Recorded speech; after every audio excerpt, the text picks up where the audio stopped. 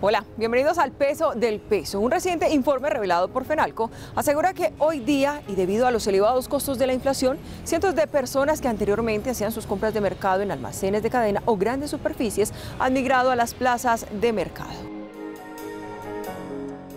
En el mes de enero la inflación alcanzó un 6.94%, los alimentos fueron los más afectados. Si se hace el análisis de lo corrido del año, la inflación alcanzó el 19.94%, cifra que no se había visto desde hacía por lo menos 20 años, generando una variación de precios que en muchos casos terminó por afectar el bolsillo de los consumidores, quienes en busca de mejores precios y otras alternativas han migrado sus compras a las plazas de mercado ha tenido un incremento aproximado del 15% eh, en mayores visitas a estos lugares, buscando mayores precios, pues además que tienen un contacto más cercano con el comerciante y generalmente recurren entonces también al final de la compra a pedir la llamada ñapa, como le decimos en Antioquia.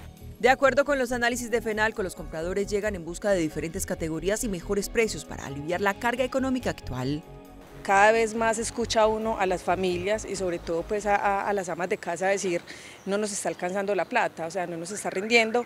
Ya anteriormente con lo que se hacía un mercado, pues a eso súmele 80, 100 mil e incluso más para poder comprar los mismos alimentos que se compraban hace un año, pues sin duda que se ha sentido el impacto en la economía en el alto costo de los alimentos. Los altos precios se espera se mantengan por los próximos meses. Por tal motivo, las familias de clases menos favorecidas, que destinan gran parte de sus entradas para la compra de alimentos, deben tener claro que para este 2022 el panorama es de resistencia para cubrir las necesidades básicas de los hogares.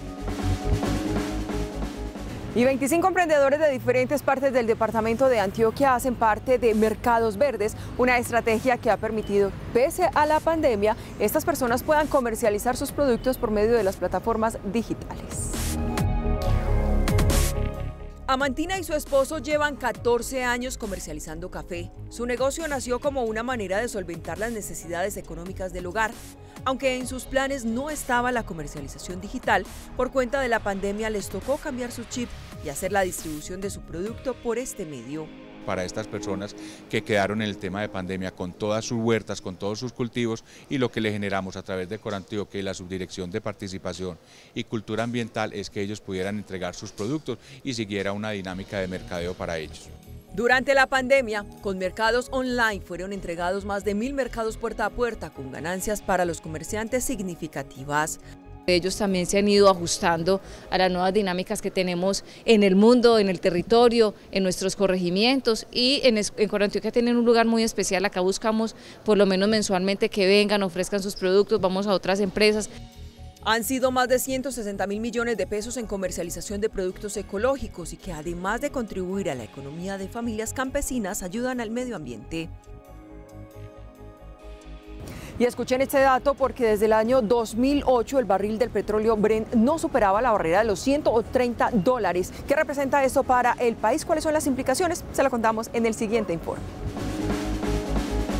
El precio internacional del barril del petróleo en 2008 cayó de 145 dólares a menos de 40 después de fluctuar durante 12 años. En 2020, debido a la pandemia, bajó a su precio mínimo y comenzó a subir al punto que esta semana superó nuevamente la barrera de los 130 dólares. El impacto del alto precio no se ha sentido tan positivo como ocurrió hace 14 años. Ecopetrol ya no produce tanto petróleo.